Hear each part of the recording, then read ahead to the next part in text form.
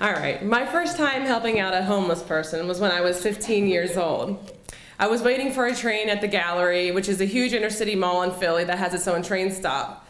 And there was a bunch of us waiting in line, and I watched as this homeless woman approached the line and started going from person to person. Can I have some money? Can I have some money? Nobody even looked her in the eye, nobody paid her any attention, and she didn't even offer any excuses. She just flat out was asking for money.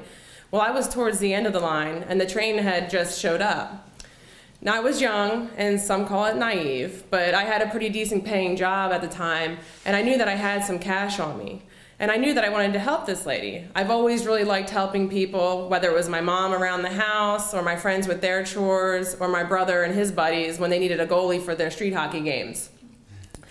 I only had a 5 and a 10, and I didn't want to give up the 10 only because I couldn't remember how much it cost to get home. So when the lady approached me and asked me with a really soft, like raspy, dry voice if I had any money I could spare, I handed her the folded $5 bill.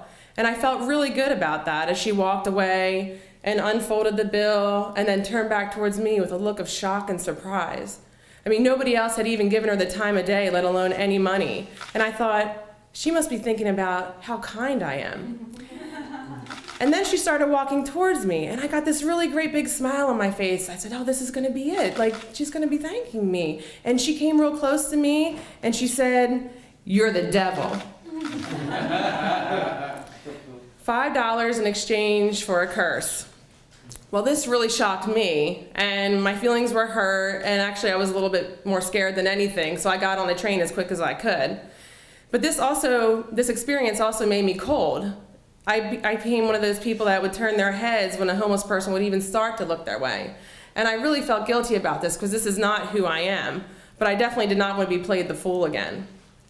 In 2006, I gave birth to my only daughter, and anyone who has ever met her will tell you that she has a kind and tender soul.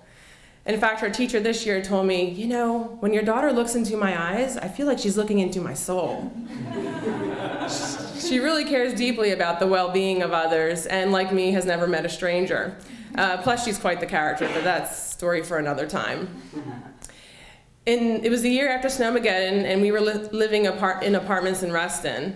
And my daughter was almost five years old. And on the way home um, from her daycare, sometimes we would stop at this really busy gas station and fill up the tank. And that's when we noticed him. His name was John. That's what we'll call him. John was a homeless man who carried his life belongings in six plastic grocery bags. His clothes were weathered, they were discolored, torn, and way too short and everything to hold, protect him from this blistering cold winds that we had that winter after Snowmageddon. I would see him sometimes walking around during the day in Reston, other times sitting on the brick wall at the library or out front of the bench in front of the Best Buy. And one day, on the way home from picking my daughter up from daycare and filling up the tank, I thought he had disappeared. I was thinking about him and wondering where he had gone to. And then I found out that he was actually making his home behind that crowded Reston gas station.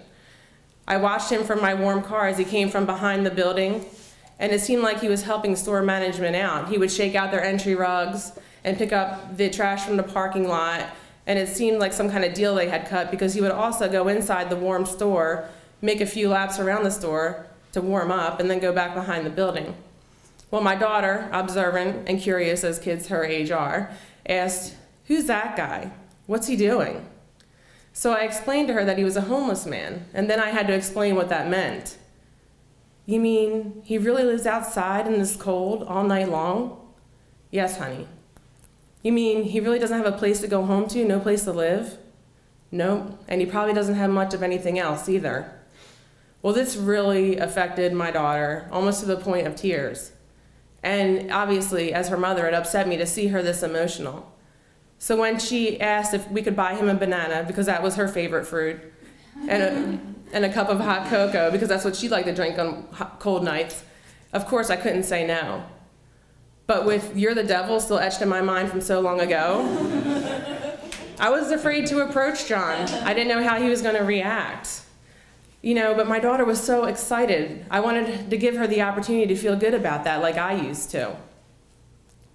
So we went inside the store and we got the bag of goods, got a water bottle, got some bananas and a snack and the hot cup of cocoa, and then we approached John. And of course, like I said, I was scared and reluctant, reluctant, but John took the bag graciously. And my daughter told him in her sweet, innocent voice, We got this just for you. And he gave her a big smile and thanked her genuinely. And then he walked back behind the building. When my daughter turned to me and told me that she was glad that we had helped that guy out, I saw the excitement in her eyes and I was happy for her. And although she probably wouldn't have understood why, I wanted to thank her too. Because in that moment, I, part of my heart became warm that was once cold. Thank you.